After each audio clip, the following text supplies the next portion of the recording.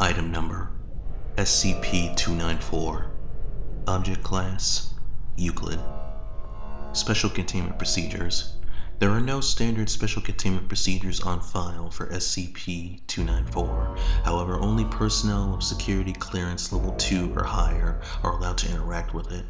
SCP-294 is currently being stored in the second floor personnel break room and is monitored by two guards of security clearance level 3 at all times. Item SCP-294 appears to be a standard coffee vending machine, the only noticeable difference being an entry touchpad with buttons corresponding to an English QWERTY keyboard. Upon depositing 50 cents US currency into the coin slot, the user is prompted to enter the name of any liquid using the touchpad. Upon doing so, a standard 12 ounce paper drinking cup is placed and the liquid indicated is poured inside.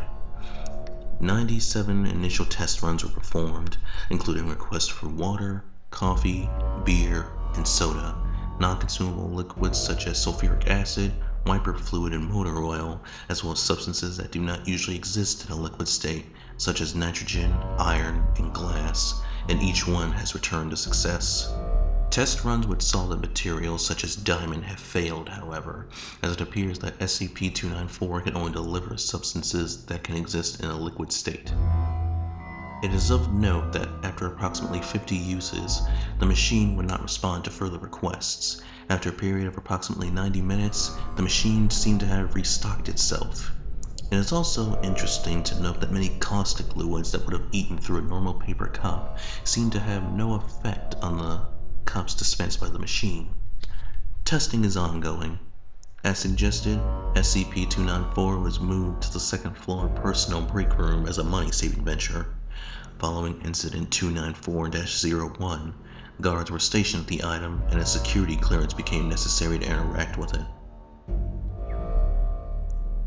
Document SCP-294-A On August 21st, Agent Joseph attempted to use item SCP-294 to obtain coffee during his allotted break time at 9.30 a.m. At the request of Agent to see what it would do, requested a cup of joe from the item. Moments after confirming the selection, Agent Joseph began to sweat profusely and complained of dizziness before collapsing. After moving the unconscious agent to the infirmary, the medical team recovered the contents of the cup dispensed by item SCP-294. A combination of blood, tissue, and other bodily fluids. Testing revealed the DNA sequence of the biological material dispensed by SCP-294 matched that of Agent Joseph. Agent Joseph made a complete recovery after four weeks of rest and intravenous hydration. X-rays and CAT scans showed no further signs of injury, of injury, and Agent Joseph was released. Both agents were reprimanded, and, addition, and additional security measures for SCP-294 have been recommended.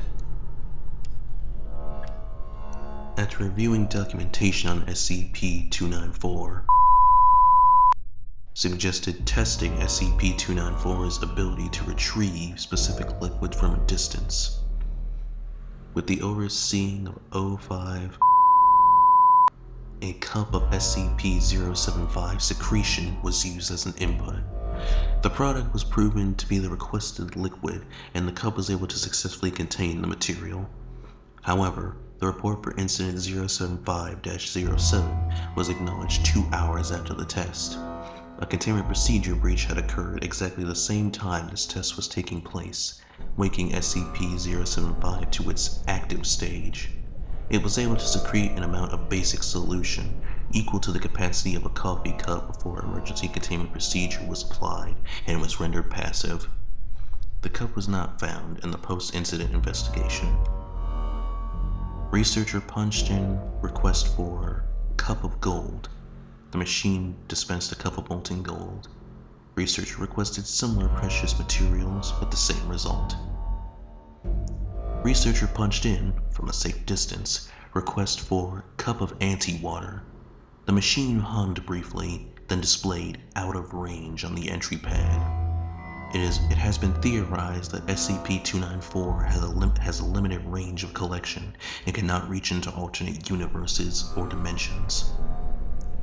Researcher punched in request for Diamond.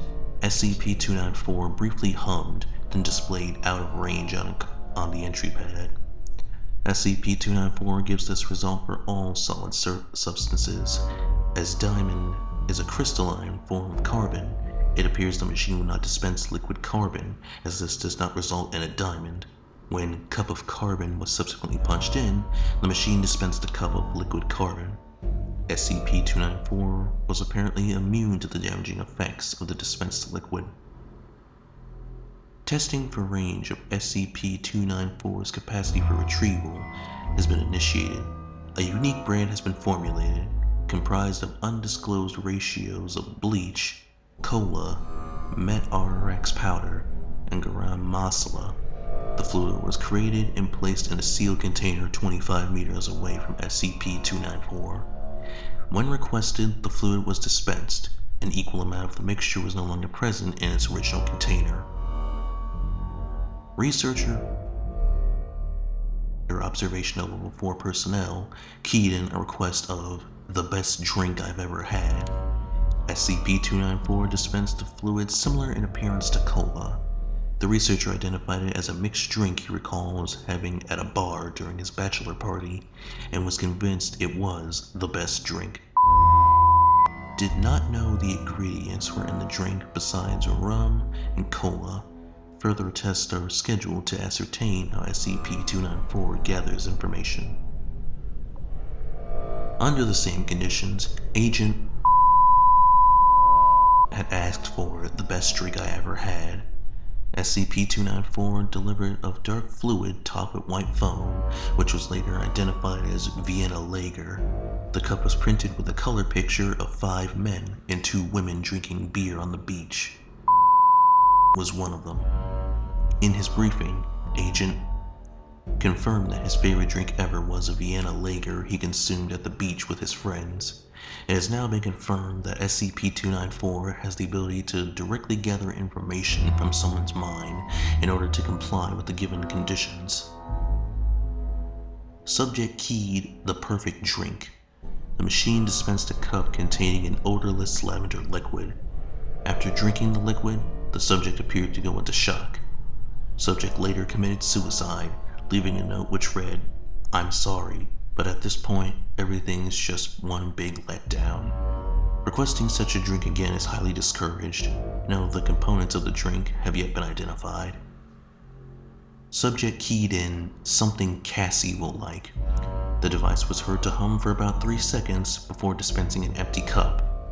Printed on the side of a cup was an image of a traditional soda, soda fountain glass filled with something brown and topped with whipped cream. Upon introduction to SCP-085, it was identified by her as a chocolate banana milkshake and judged delicious. Researcher keyed a quest for a cup of music. SCP-294 produced a clear, sparkling fluid that tasted vaguely alcoholic. Following ingestion, subject reported feeling and not hearing a continuous rhythm and demonstrated the ability to move and even dance with a certain fluidity that he had not previously shown. Testing on other abstract concepts is continuing. During a mass security breach, Agent requested a cup of pertinent medical knowledge while taking shelter inside the second floor break room. Of the four agents in the room, Agent was the only one who was not injured. SCP-294 poured a cup of a clear green liquid. Following the ingestion of the substance, Agent began mending the other agent's wounds in a manner consistent with Foundation medical training. Agent no longer has the medical training that the liquid has provided, and other attempts to, to recreate the effect have failed. The agent has speculated that this event was an emergency measure taken by the object to ensure self-preservation. Dr. requested my life story from SCP-294. SCP-294 made humming noises and shook violently for approximately three minutes before providing a highly viscous, opaque black liquid. Upon consumption, Dr. reported that he had remembered everything that had ever happened to him. Following this test, he entered his office and returned 48 hours later with a 538 page autobiography.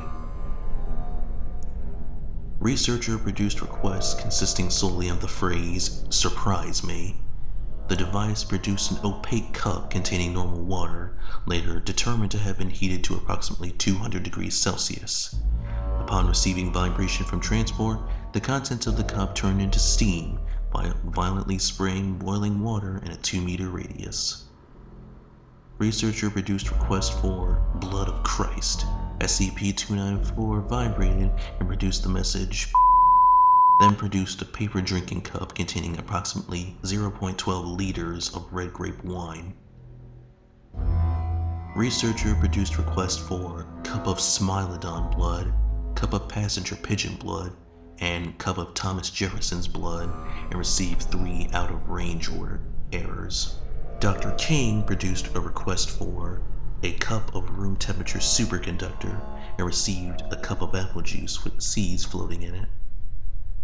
Dr. Menchu produced a request for cup of D151839 leukemia and received a cup of fluid. The fluid was microscopically examined and found to contain leukemic blast cells, which were a genetic match to which were a genetic match to D151839. A second request for a cup of D151839 leukemia resulted in an out of range error.